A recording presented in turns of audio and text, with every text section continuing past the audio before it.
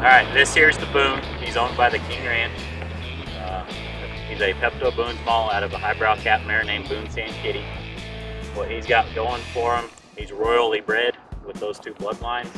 He's got a real good foot on him. And if you ever saw him in the show pen, you could tell he had a lot of heart.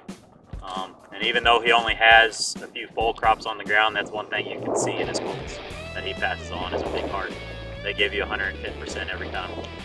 Yeah, crosses really well on these ranch mares. We have some right now that are just yearlings. Been really impressed with how quick they are to learn new things. Like when we went through and Halter broke them, his picked it up like that.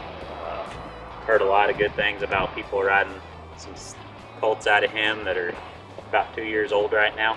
Um, and they're still that way. They're still real quick learners. He throws a lot of color. Uh, just about everyone I've seen has been around.